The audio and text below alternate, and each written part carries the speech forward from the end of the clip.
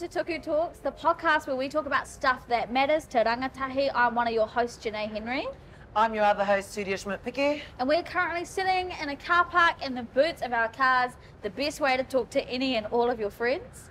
The kaupapa of today's episode is social media and politics and the way those two things interact. And so we have a very special guest in the boot of their car sitting with us. We've got Kura Turuwhenua. Welcome. Hi. I know you personally in real life. I just want to let the listeners know straight up top. I'm biased because I'm a real big fan of yours. Yeah. So anything you say, I'm co-signing it already at the top.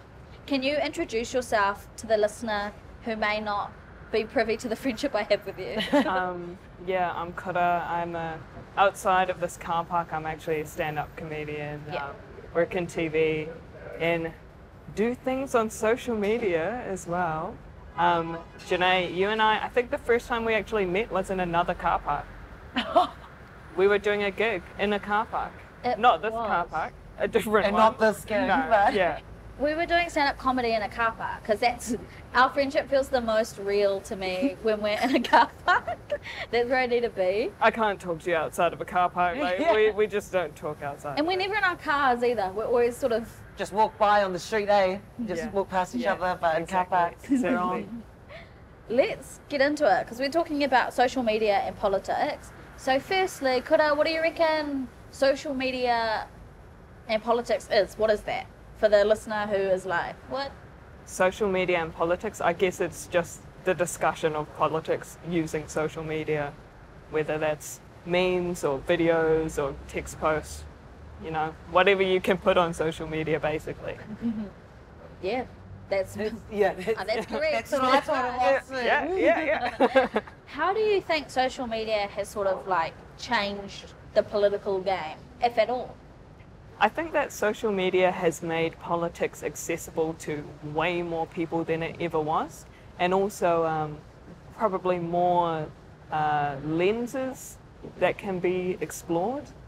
Um, you're not just dependent on what is in a newspaper or what is in on TV or what politicians are telling you in our country or even what your family are telling you. You can kind of outsource your politics a lot easier. Um, and you can get international opinions a lot easier as well. What? Sorry, where do you think you've like sort of sourced your political beliefs from? Probably uh, my upbringing. Um, being raised Māori definitely has big influences in how I look at the world. Yeah. Um, but it's changed. It's changed where they've come from. When I was younger, it was from my family. And then when I was in high school, it started being from the internet, which was interesting. and then now it's probably a mix of the internet, my university studies, um, and my family still, actually. Yeah. Oh, and the people I surround myself with, like friends and stuff like that. Yeah. It's like more of a melting pot now, maybe, than it was when you're younger. I think that the melting pot was always there, but I wasn't smart enough to recognize it. yeah, basically. You sort of said that when you started learning about politics from the internet when you're younger, that was interesting. Yeah. What does that Yeah. mean? Um, you said it in a voice. when yeah, I said it in a voice, and it, this is going to be problematic voice. Um, in high school, I was low key like had some real sus opinions about um, a lot of things. Um, I went to an all girls Catholic school, and when you're Maori and you're the only student of maybe like three that are brown, it, you're kind of um, off, straight off the bat you're already ostracized and your um, life view will already be kind of different. And so i think when i was using internet spaces that were they were funny. And i think that's the thing is that it was a lot of memes and a lot of like groups and things like that. And um, to me i was just in these spaces that were kind of funny and poking fun at different groups and like feminists and like oh feminist gets rigged by frickin' Jordan Peterson. And, and uh, 17 year old me was like, that's it. That's the guy. He's the man. and um, I think it, it sort of um, came from a, I think, a place where I didn't really have anyone around me to tell me that's messed up. Um, and it's not like something I would ever really talk to people about either, because it wasn't something that I would seek other people's opinions on anyway.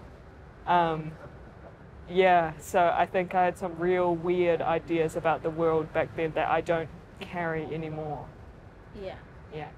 Was- Was that just from what you saw on social media at that age, or was like, Yeah. Well, the thing is that I think um, just seeing it is a bit more passive than it actually was because I was engaging in it. yeah, Like I wanted to be in those spaces because they were where I got happiness from and community from, but with the most. Am I allowed to swear? Yeah, you can Yeah. swear. Oh, with the most up people Yeah, possible.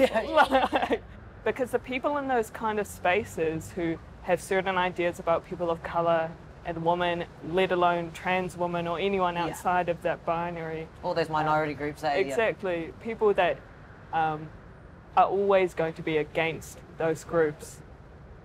When you find community in them, it's only um, you only get that community when you are engaged in it. But the moment you start saying, maybe this is n- Yeah, actually going bad, it, yeah. Yeah. they will immediately turn on you because you are still part of those groups that they do not want to associate with. Yeah. Oh. This is like a bit of a pivot boomerang, but I'm just going to go with it. It's really interesting that you talked about like being a part of those groups of like messed up people. You kind of have to like, I guess, self-deprecate in a way to like be a part of it. And that's interesting to me because you're a stand-up comic, and I've seen you on stage, and I know that a common device for stand-up comics can be to be self-deprecating, but I don't think you are on stage. I don't think you are at all. Is that an active choice? I think that I don't self deprecate on stage because I don't self deprecate off stage. Yeah. Um, but back when I was in high school and in those spaces, I did self deprecate a lot. And a lot of it was to do with like, oh, I'm Māori, blah, blah, blah, Māori this, Māori that. And other people will find it funny. And I would kind of find it funny, but it would always be like gnawing at me, like, Yeah. this is f***ed up. like, this is, why am I wanting friends with these people? myself? Yeah, And, yeah, like, like, yeah, exactly. And um, even like sort of shitting on a other woman was another thing. Yeah. And it was like, oh my God, these feminists um, doing this and that and blah, blah, blah. And it's like, I didn't have a single original thought in my brain. Like, um, but yeah, I think back to the self deprecating thing now is like, I've done it and I've felt what the consequence of it is. So I don't need to do it anymore Yeah. especially not on a stage when I'm representing Maori people and Wahine Maori, just as a consequence of me myself being one. Yeah. Yeah, I'm gonna like sort of fly you back now to the online space. yeah, yeah.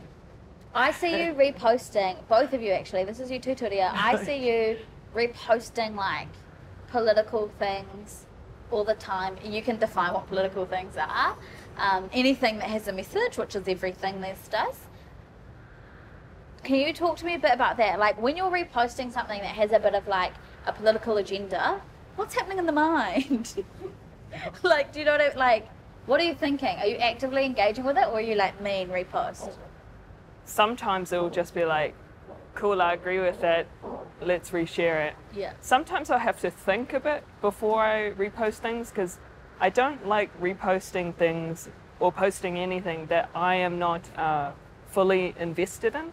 Or Yeah. like if I felt um, I didn't fully understand the kaupapa or I didn't, or I wasn't actually doing anything other than just reposting something, yeah. then sometimes I'd feel less comfortable to act as a sort of springboard for that kōrero, whatever it may be. Yeah. Yeah.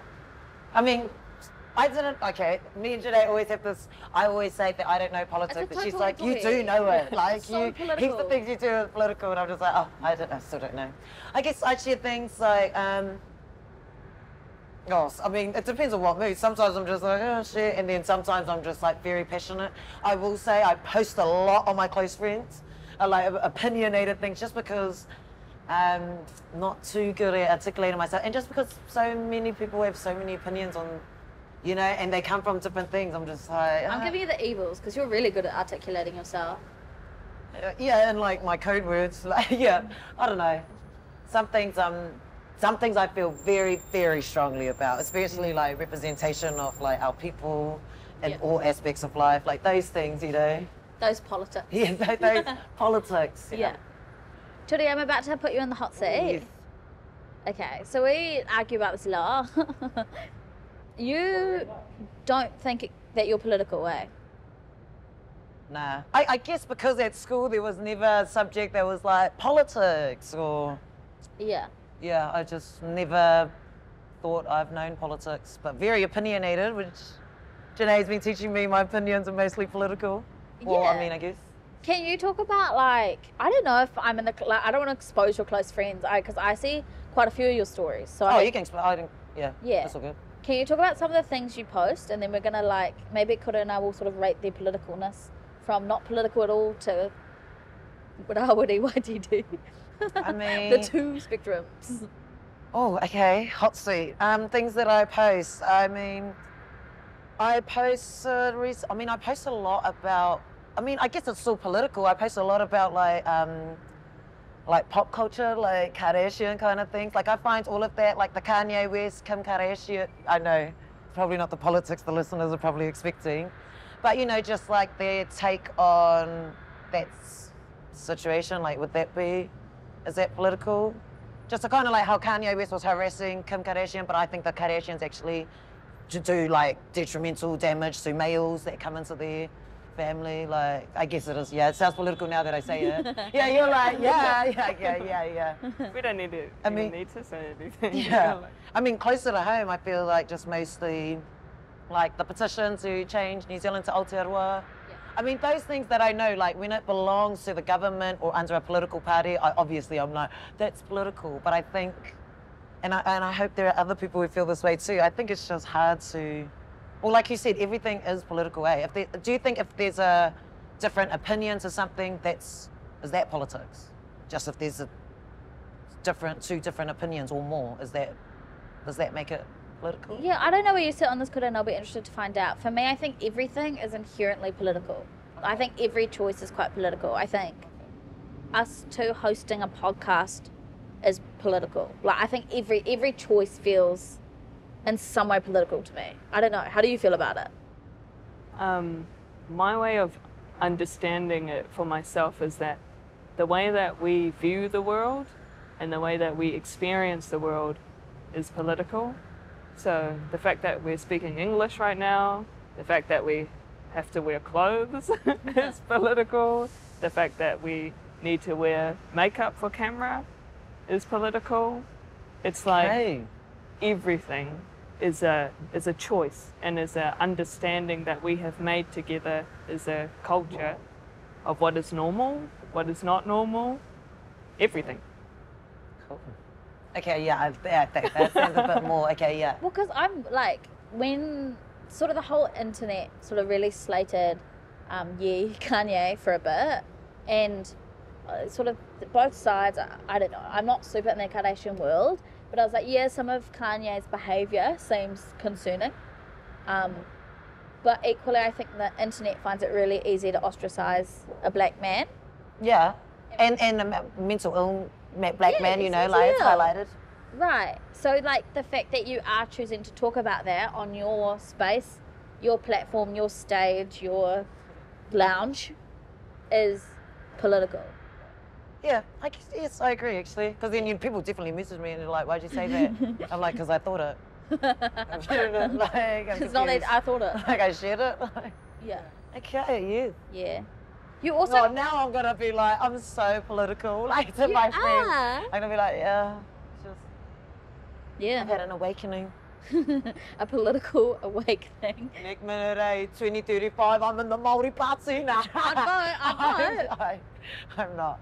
The beehive would not let me in. I reckon they would. The beehive. That's very Beehive. political. I don't know if I'd. Is that something you would like? Would you ever want to actually, at any moment, could you see yourself being a politician? No. Sure. Nah, It just sounds not fun. yeah. Nah. I mean, you kind of argue all day a little bit. Some days. Yeah. I think uh, lot of work, there's though. just way better people that do more for their communities and understand their people better. I don't. I've never thought of myself in politics, but I like talking about it. Like it? Yeah, no, No, no. I no. I feel like you can't always say everything you want to say in politics. Like, I don't think the beehive is Unless like. you're Winston Peters. I like him though.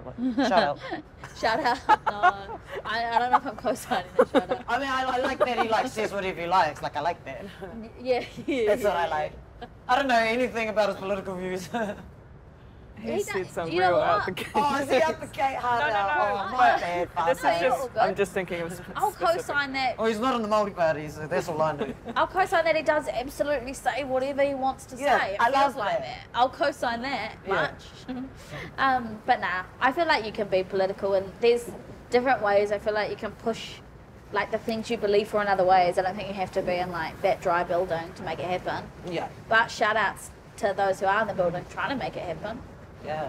And hopefully heaps of you want to get into that building and make more things happen. Yeah, because we don't want to. So sorry. sort of it Yeah, bags torch over. not. Bags not is sort of the vibe. Let's talk about like slacktivism. Have you heard that term before?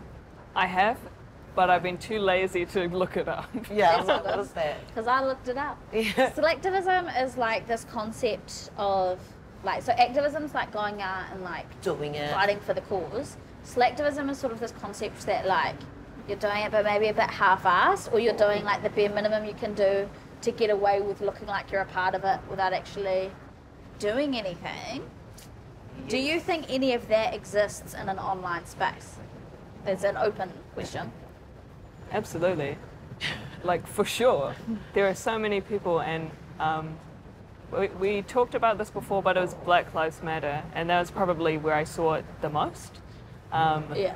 and I think people were also sort of talking about it themselves at the time, like posting black squares or resharing posts, and it was kind of like um, I think the reason why that example sticks out in my mind so much is because very soon after there was Ihumātao, and I, I knew in my heart that those people that would attend the Black Lives Matter protests and the people that would reshare all the Black Lives Matter posts would not be at the Ihumātao protests.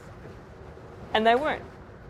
And you see it because it's like, how is it that the entirety of Queen Street or like across our entire country, you have thousands of people rallying for Black Lives Matter, which is incredible. Yeah. But then you have Ihumātao and it's like, In our backyard, eh? yeah, exactly. It's like a tiny little crowd.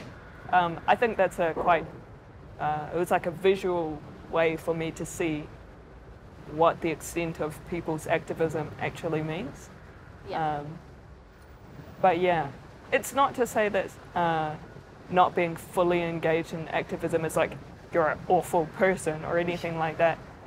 It's just kind of, um, it's always disappointing because you always wish that everyone wanted as badly as you for our world to be better for everyone. Mm. But not everyone does. I feel like I'm guilty of slacktivism sometimes. Or maybe it's like, is it like slacktivism more like with intention? Like you want to look like you're woke, but you're just, is that more? To me, that I, I don't know. Like, I didn't write the words, so I don't want to. I just Googled it. Shout outs to whoever wrote it, but like, I think slacktivism is like taking part in these political movements, in my opinion, Yeah. out of more fear that it'll look bad if you don't, versus Oh, genuinely right. caring about a coping. Oh, right, right. Yeah, The heart's not in it. I that's sort of how I Mm. maybe define it. I think sometimes I've felt pressured at times to have the appearance of like being involved in something I didn't fully understand at that point. Um, and it's been at different points, and it's just like you see everyone is on this kaupapa, and I'll be sitting there like, am I a terrible person for not understanding what's going on right now? Or sometimes it's even just that uh, I don't have the capacity to take it in at that time, but I still want to feel that I'm there. Yeah. Um, I don't think it's a. To me, it's not a malicious thing, but it's more a, it's the lack of um, involvement that is the issue. Yeah. yeah. Like all the talk, no walk. Sorry. Oh, like just all talk, no walk. Yeah. Yeah. Like pretty much, eh? Like you're just sharing it, but you're not actually going to anything, or not anything, but it's just not. Yeah. It's interesting, eh? I Yeah, don't what know. it is. I'm real like unsettled on it because I think also like I don't want to undermine the work that like our disabled whānau do. You know, maybe they can't get out and like Mm. join a protest or whatever. And I do think in some situations like the online kōrero can be enough. But I also Like there can be a wānanga happening online as well, eh? Like Yeah. wānanga forums kind of buzz. Yeah, but like I, for example, like I've made videos online before about like Te Reo Māori revitalisation or Te Reo Māori being in schools, and then like people from my high school who are openly racist on their Facebook newsfeed have reposted them, and I'm like, in what world, babe? Like, Yeah. in what Yeah. world? Yeah. And that's where I'm like, that's interesting because they know it looks good to repost it versus Yeah. genuinely like I remember there was a girl in my school. She did. Uh, she was Pākehā, raised in Africa, um, and she did her like we were doing speeches, and she did her speech on cultural appropriation.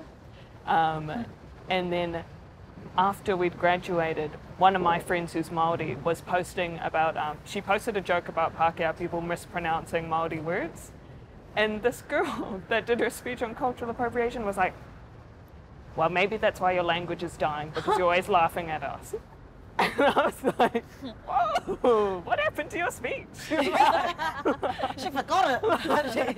she skipped I guess you didn't keep your notes on your hand. Like, people can be so different in person to how they present themselves online. I think she was a weird case though, because usually people are less like publicly like that. I don't know, maybe Bad I'm wrong vibes, saying eh? They Yeah. usually keep their bad vibes to Yeah, it's themselves like behind closed doors. actively racist. It's like, whoa, that's like next level, man. Like impressive, impressively racist. sort of a pioneer for the racists because that's quite unheard wow. of. The ingenuity is incredible. We we kind of briefly we just talked about you know talking on politics up Facebook. Yeah, You know, I want to get there. let's get there.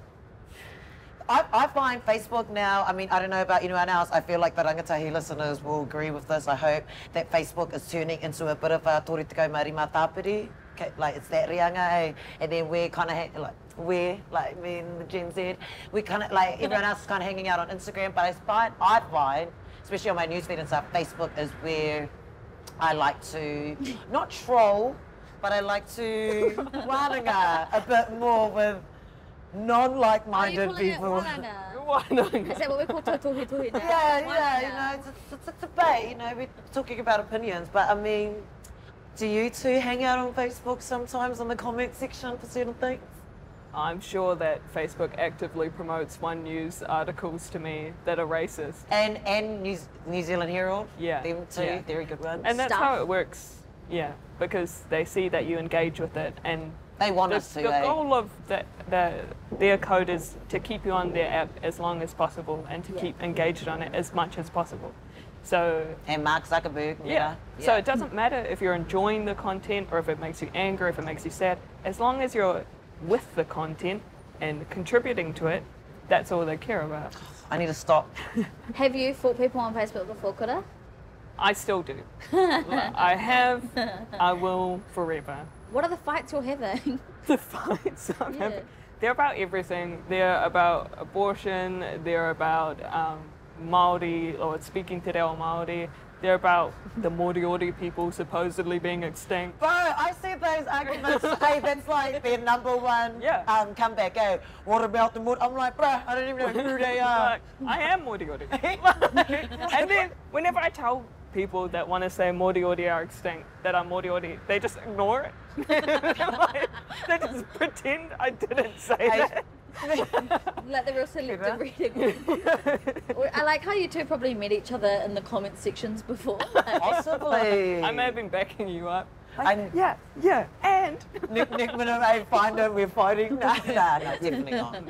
I only fight against. Uh, I go and look at the people I'm fighting. I look at their profile, have a look around their photos, you know, Oh, yeah, you look save some come back, see know, then go back. Well, you're doing a full roast battle. You're not even sticking to the kaupapa. You're like, No, going no, if I'm personal. losing, I'm just like, chuck it in. Nah, Yeah. anything You're looking at the family reunion photos. You're like going all the way in. Just mostly their profile and covers. sometimes um, arguing with people on Facebook, um, it's not always about winning the argument though. Sometimes it's just about um, Getting a message across, or sometimes. Yeah.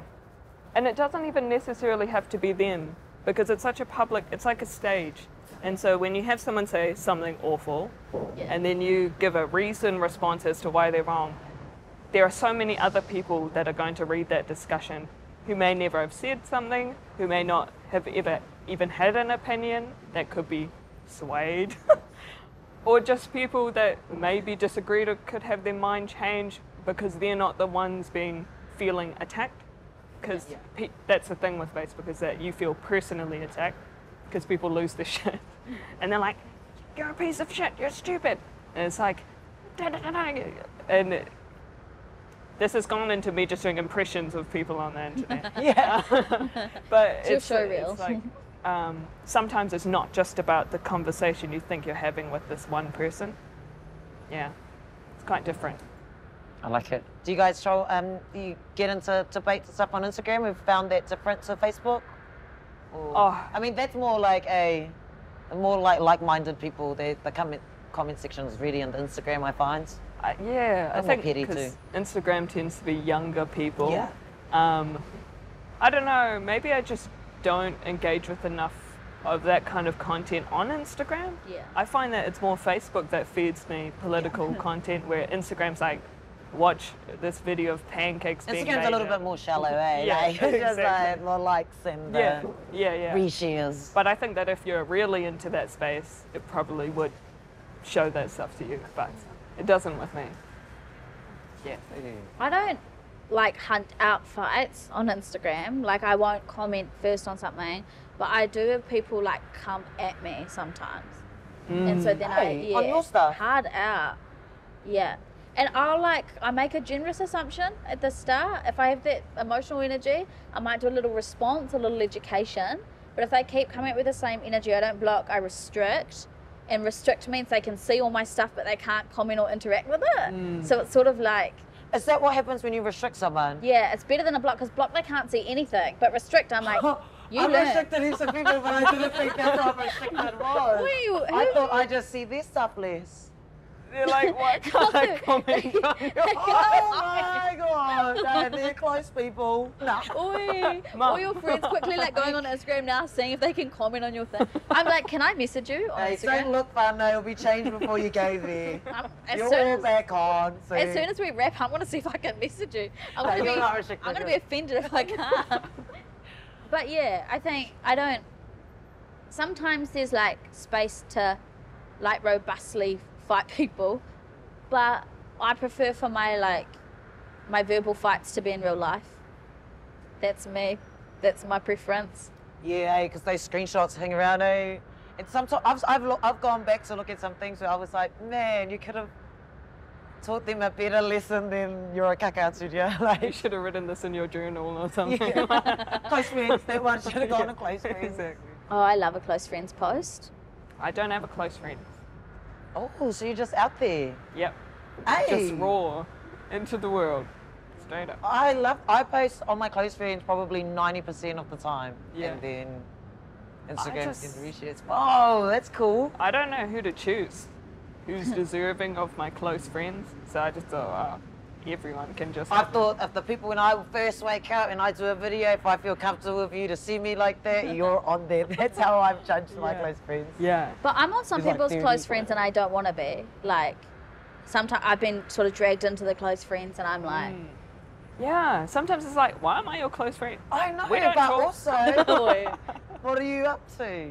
Is there any kind of like, have you seen any kind of political battle or like scrap kind of thing on Facebook from other people? Have you, is there any that have really caught your attention? Like, have you put yourself into other people's battle kind of thing? Like, have you felt so strongly like opinionated on something that you're like, I'm jumping in there even though no one has asked?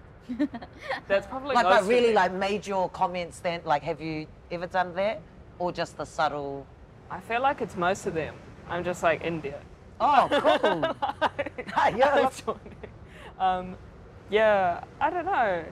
I don't actually know what my thought process about it is. I think because you'll have the top comment, and sometimes there'll be like a hundred comments underneath it, and I'll just not read any of them and only reply to the top comment. So it depends. For rangatahi specifically, like sort of trying to navigate the online space like you did when you were a teen, what like advice would you have to them in terms of like where they get their political info from or how they learn about politics? Like, what would you say? I think that if they were anything like I was, that it's important to uh, consider how the spaces you're in actually make you feel and to trust your gut instincts about things. Um, if the communities that you're in online uh, require you to belittle or diminish other people or make yourself feel better than other people, then you probably need to reconsider the community that you're in. Um, it's really easy to feel like you're having fun and it's things are just jokes or you're just having sort of light-hearted conversations.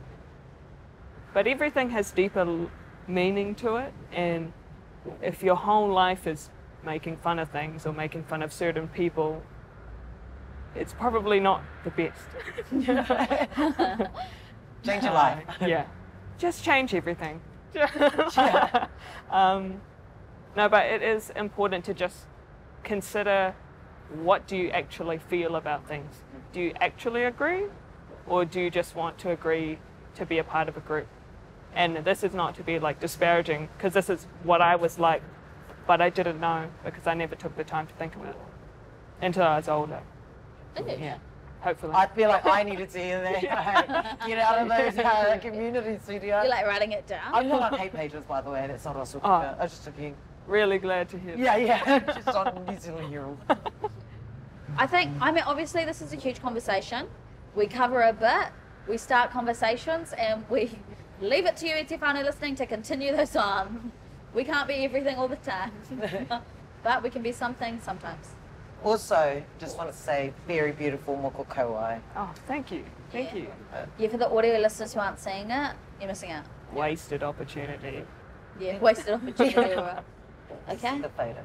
Well, that's been this episode of Tuku Talks. We've been talking about social media and politics. I've been your host, Janaye Henry. And I'm Turia Schmidt-Piquet, and we're here with Kura Turuwhenua. Beautiful. All right, ka kite. Ka kite te whānau. Ka kite. Thank you. yeah.